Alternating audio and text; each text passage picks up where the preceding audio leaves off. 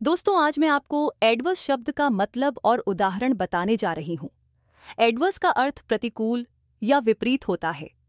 प्रतिकूल का मतलब है कि कोई स्थिति आपके लिए असुविधाजनक या नुकसानदायक है। जब कोई चीज़ आपकी अपेक्षाओं या योजनाओं के खिलाफ होती है तो उसे विपरीत या प्रतिकूल कहा जाता है।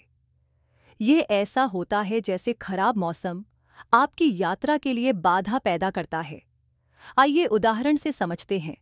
The company faced adverse conditions during the economic downturn company को आर्थिक मंदी के दौरान प्रतिकूल परिस्थितियों का सामना करना पड़ा।